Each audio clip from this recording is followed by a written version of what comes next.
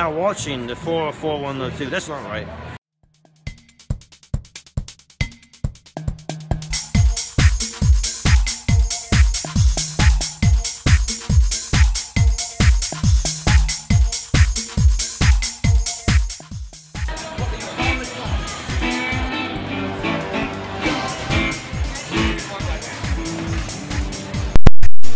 waiting for the cosplay costume contest to get started. I'm excited. I've been waiting months for this. I got a peek at some of these costumes behind the doors, and going to be amazing. Male villain, male hero, and then female hero, female villain, and then each of our judges also going to get an honorable mention.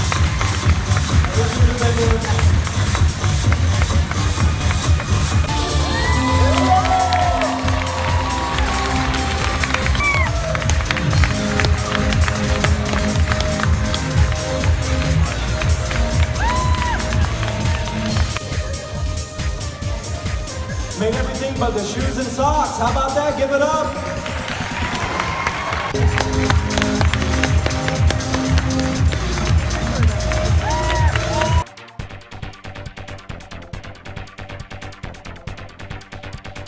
That's it for me here at Wizard World. I had an amazing time. The costumes were excellent.